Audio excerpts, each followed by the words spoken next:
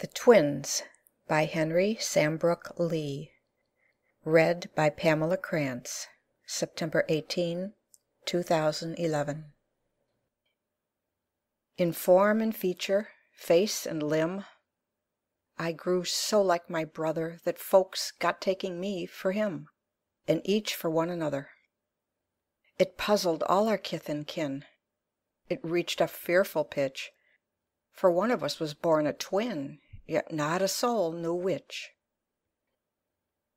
One day, to make the matter worse, before our names were fixed, As we were being washed by nurse, we got completely mixed; And thus, you see, by fate's decree, or rather nurse's whim, My brother John got christened me, and I got christened him.